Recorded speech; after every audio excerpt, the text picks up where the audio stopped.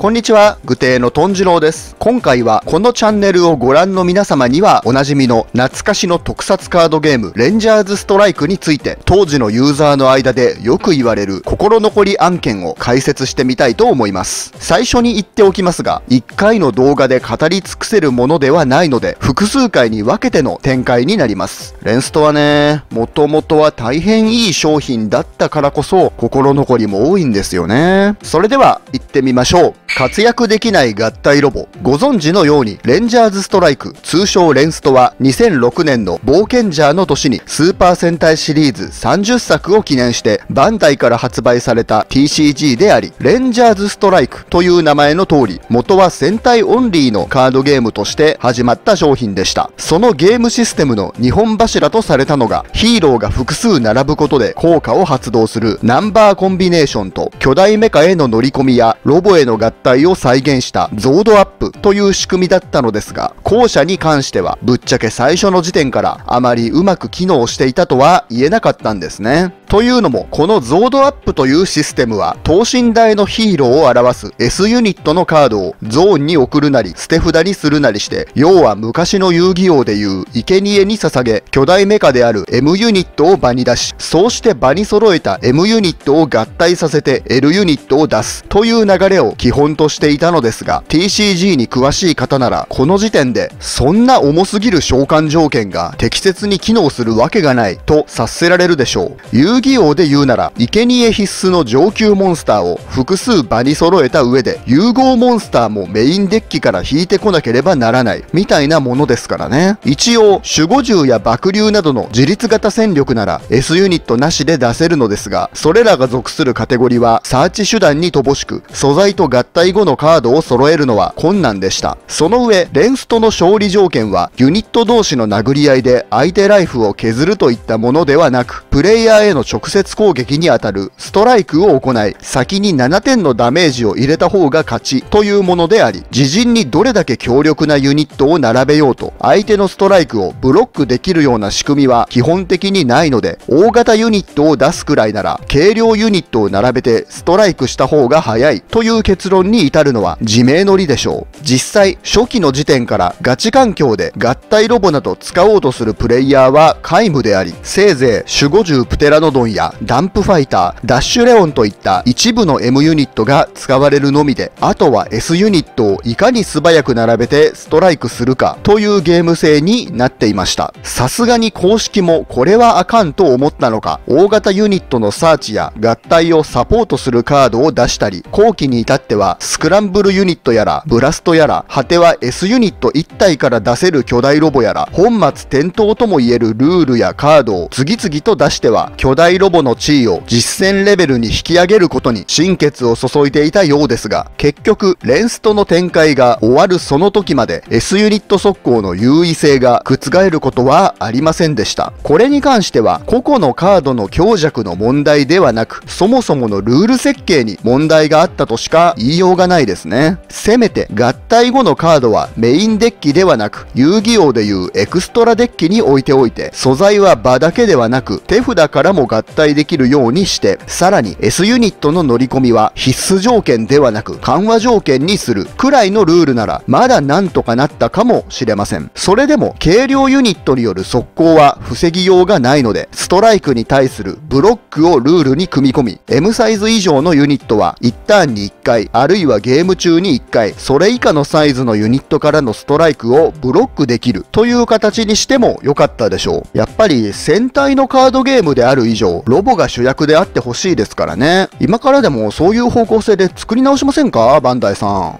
カテゴリ間の格差の拡大。レンストではヒーローの設定や出自に合わせて MTG の色にあたるカテゴリが設けられており、その内容は野生系のワイルドビースト、神秘系のミスティックアームズ、宇宙未来科学系のオーバーテクノロジー、地球科学系のアーステクノロジー、そして悪の勢力を表すダークアライアンスの5種類でした。余談ですが、戦隊ファンの間では古くからメカニック戦隊とファンタジー戦隊という言い方がありましたが、そこから一歩進めて、あらゆる特撮ヒーローは地球科学系、宇宙未来科学系、神秘系、野生系の4種類に分類できる、あるいはその混合で表現できるという発想をを特撮ファンに植え付けたのは、レンストの隠れた功績の一つと言えるでしょう。しかし、最初のうちこそ各カテゴリの得意分野と苦手分野を明確化し、なるべく戦力を均等にしようと頑張っていたレンストですが、後に仮面ライダーやメタルヒーローの合流を経て、クロスギャザーとして仕切り直されて以降は、新規の作品や人気作品がオーバーテクノロジーに偏りがちだったこともあり、露骨なまでの OT 優遇が目立つようになっていきます。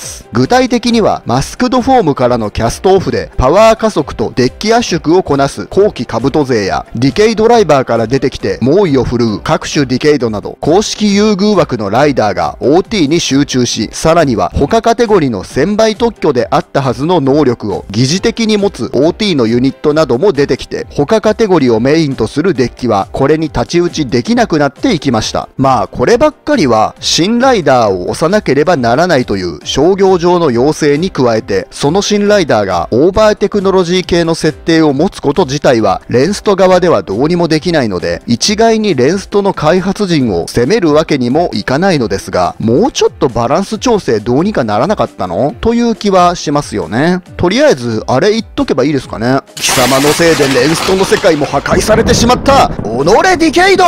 押しすぎるタイミングで展開終了。今述べたように、クロスギャザー以降、ディケイドをはじめとする平成ライダー優遇に拍車がかかり、多くのユーザーの混乱や離脱を招いたレンストは、2011年3月のクロスギャザー7弾を最後に、惜しくも展開終了となってしまったのですが、これはまさしくゴーカイジャーの開始と重なるタイミングであり、結果的には、よりによって史上最大のお祭り作品で戦隊シリーズが盛り上がる年に、それに乗っかることなく打ち切りという非常に惜しすぎる幕引きとなってしまいました。一説には、バンダイとしてはガンバライドやダイス王といったデータカード出すに注力したい意向があり、このタイミングでのレンストの打ち切りは必然だったという話もありますが、それにしてもせめてあと1年頑張ってゴーカイジャーのラストまで出し切った上での円満終了なら、ファンもここまで無念を引きずることにはならなかったのではないかという気がします。まあそれはそれで最後の1年で OT 変調がさらにエスカレートしていたでしょうが、いやーでも大いなる力の関連とかで色々面白いこともできたんじゃないですかね。これに限らずバンダイさんの商品展開はせめて最後に優秀の美を飾って終わるということはあまりなく、最終弾とも何とも言わないうちにしれっと打ち切りというケースが多いのですが、なんだかんだで5年にわたって特撮界隈の注目を集めていたレンストがこうした形で終わってしまったことは今も残念に思うファンが多く、未だにその復活を願い続けている人も少なくないようです。個人的には復活というよりゲームシステムを見直して一から出し直してくれって感じですけどね。ともあれ、冒頭で述べたように、レンストにまつわる心残りはこの程度で済むものではないので、また続きの動画を出したいと思います。皆さんもレンストの思い出や心残りなど、ぜひコメント欄に書いていってくださいね。はい、最後まで見てくださってありがとうございました。この動画のシナリオは、後ほどメンバーシップの限定投稿にて公開いたします。特撮指定の活動は、ご覧のメンバーシップの方々と、動画を見てくださる全ての皆様の応援によって支えられています。このチャンネルでは、今後も特撮に関する色々な動画を投稿していきますので、よかったらチャンネル登録と高評価をお願いします。サブチャンネルもありますので、よろしければそちらも合わせてご覧ください。それではまた次の動画でお会いしましょう。特撮女子パンダの代理で、武帝のトンジローがお送りしました。